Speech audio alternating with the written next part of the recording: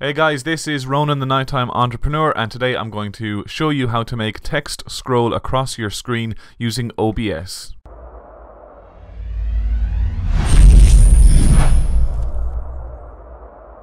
Okay guys, so as you can see here I'm just capturing my screen, I have OBS open and up here in the top right hand corner I have the word subscribe uh, scrolling slowly across the screen. So today I'm going to show you exactly how to create that. So uh, first things first, I'm going to delete this so that we can actually make a start. Um, just let me click delete. Yes, and that's gone. Okay, so down the left hand side of the screen here, of course, you have your scenes box and you have your sources box. Uh, so I have a few different things on screen here as you can see, but what I want to do is click on the add button. I want to add text. I'm just going to call this scrolling text.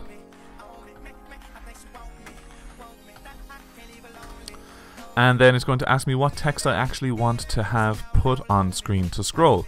I'm just going to put in the word subscribe. Whoop. Perfect. Arial is fine for me. Uh, maybe I'll make it bold. Press OK. There's other things like uh, color, gradient, opacity, and alignment and things like that. I don't really mind too much. I might just change the alignment to center. Press OK and you can actually see it here up on screen so I'm just going to grab it put it over to wherever I want to on the screen and that looks like a good enough size for me so now it's just stationary as you can see so in order to make it actually scroll what you need to do is right click on the scrolling text down here click on filters there's a little plus down the left hand side of this new window press add and then click scroll and just call it scroll or whatever you like to call it. Press OK. And now you can start making speeds horizontal or vertical. I'm just going to go for horizontal. There's no need for me to do vertical scrolling. You can if you like, and that is handy for credits at the end of a video or something like that. But I'm going to leave that at zero.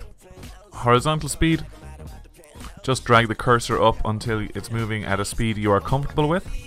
So that, that looks okay to me. Press close and now you can see up here the word subscribe is scrolling. But there is one more issue. There's no actual space between the word subscribe and the next time it comes up. So just double click down here again on scrolling text. And after the word you put in, just put in a few space bars.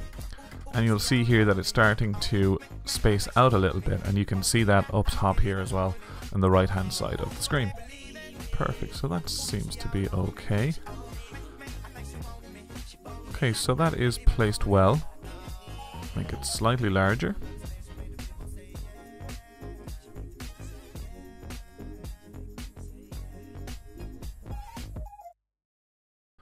That is okay. And I do actually just want to change the speed of it as well.